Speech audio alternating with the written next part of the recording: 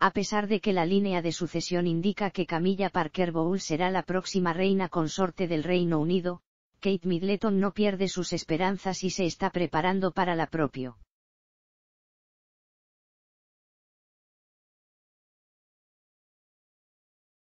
Y es que es muy probable que la duquesa de Cambridge tome esta posición algún día, aunque no signifique que sea lo antes posible. Así que es mejor estar prevenida y, por eso, está instruyéndose mucho.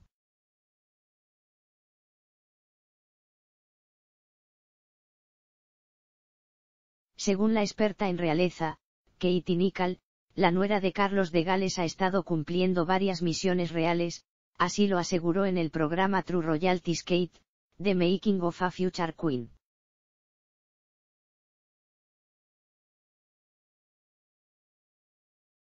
Una es producir herederos, que ya hizo, y la otra es aprender a convertirse un día en reina y eso es en gran medida lo que estamos viendo, estamos viendo a una reina en espera.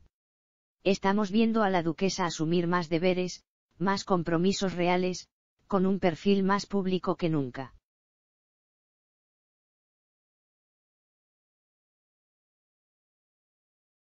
Kate Middleton ya cumplió parte de sus labores reales, producir herederos al trono.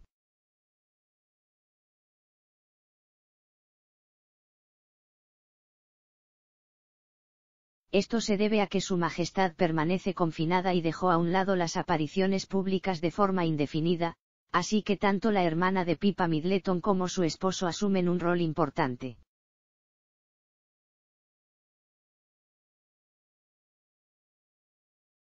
Es muy amable y considerada y es muy fácil llevarse bien con ella.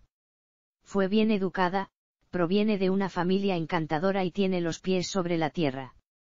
Las personas que la conocen le son muy leales y la quieren.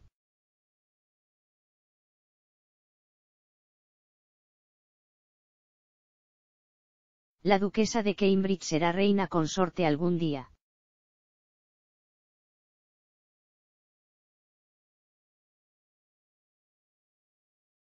Así se expresó Nichol sobre la cuñada del duque de Sussex, quien ha estado en numerosos eventos en apoyo a organizaciones benéficas y entidades reconocidas durante la pandemia.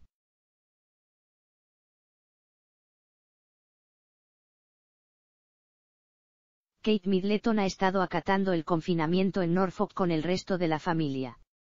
En estos días debería estar por llegar a Balmoral y sumarse unos días a las vacaciones de la reina Isabel.